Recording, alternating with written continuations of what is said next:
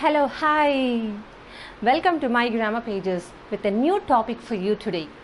And today's topic is honorifics. What is honorifics? Have you ever heard this? Yes, of course. We are very familiar to this one. Though the word sounds to be new, but we are very much close to it. Every day in our daily usage, we come across many titles. When you open the register in the office or in a school, the staff list mostly we can find some titles. Now, you might have understood on what topic I'm going to start the class today. So, it is honorifics. Honor of X is nothing but the topic that deals with the titles of the people. For example, I have taken the word master. Master is the title given to the children who are below 12 years and it happens in America. In America, the children, those who are below 12 years, are given the title master. When it comes to British, the children, those who are below 16, are given this title master. And for example, if you take Master Ayan, Master mm, Trilok, etc. Now, coming to the next title, it is Mr. And the people who are above 16 years according to British rule and those who are above 12 years according to American rules are titled Mr. And the short form of this Mr. is M R Mr. And coming to this, we can go with Mr. Kailash Saxena. Mr. Shiva Naik. And one thing you need to remember when you are putting the title Mr., you are not supposed to take only the first name. The first name and the last names are mandatory. Suppose if you use the word as, if you use the name as Mr. Kailash, it is wrong.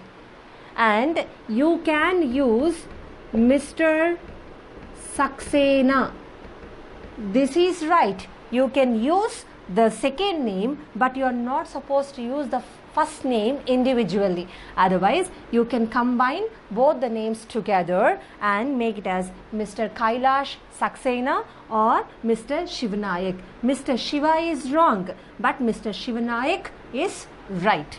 Now, coming to this, Messrs and in no register in the offices or in the schools or in any other, any other government offices we find this messrs messrs is the title given to the plural form of mr this is the plural form of of mr where do we find this? We can find this on the boards of the shops or uh, on the business invoices. For example and the short form I forgot to tell we write like this M slash yes it is Messrs. Raman Sons. Here we have a group of people who are organizing the business who are running the business. So this is the plural form of Mr so we pronounce it as Messrs. Messrs. So master Mr. and this is Messrs. Now let us see how the titles are given to the ladies. This is the title given to the unmarried girls. Mostly we can find this title to be given to the school teachers or the girls who are participating in the beauty con- contest. For example, Miss Chandrika.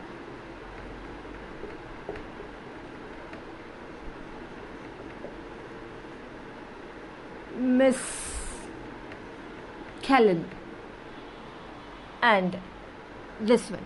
This is mrs this is the title given for the people who are married. Sometimes even it can be used by uh, I, I told you this is married woman. And we can take it for a widow or a divorcee.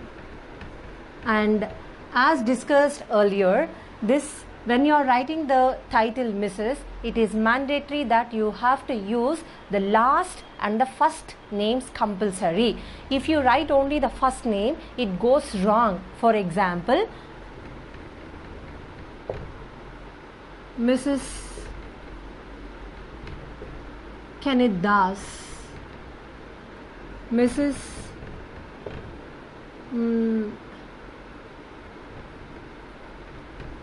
Anita Rao. In this, this becomes the name of the husband.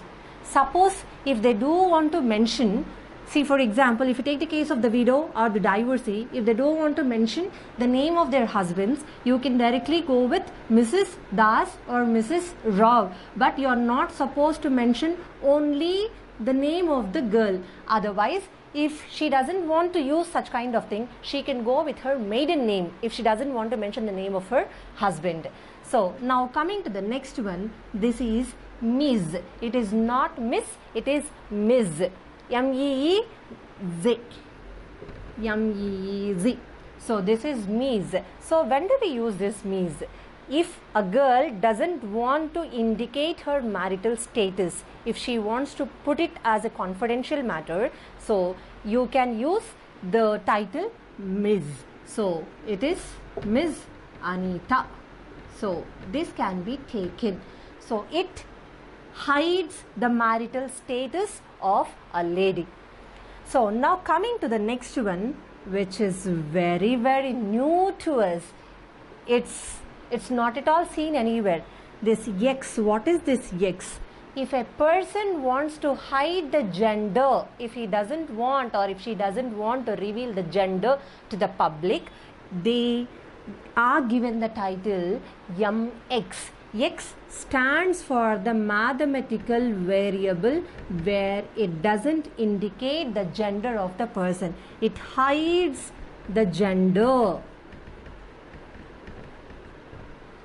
we cannot find whether it is a male or a female who is in the register. So here are the titles where you can whenever you go outside whenever you're calling others make sure that you utilize these titles in an effective manner and get the impression from others. Instead of calling them mrs kenneth or mrs anita better call with the surname as well as the first name of the girl. Or when it comes for the mr also mr also takes the first name as well as the last name. So my dear friends so these are the titles for today. For more videos like this, you can subscribe to my channel, My Grammar Pages and view more videos on the grammar as well as the pronunciation classes in future. Thank you so much for watching this video.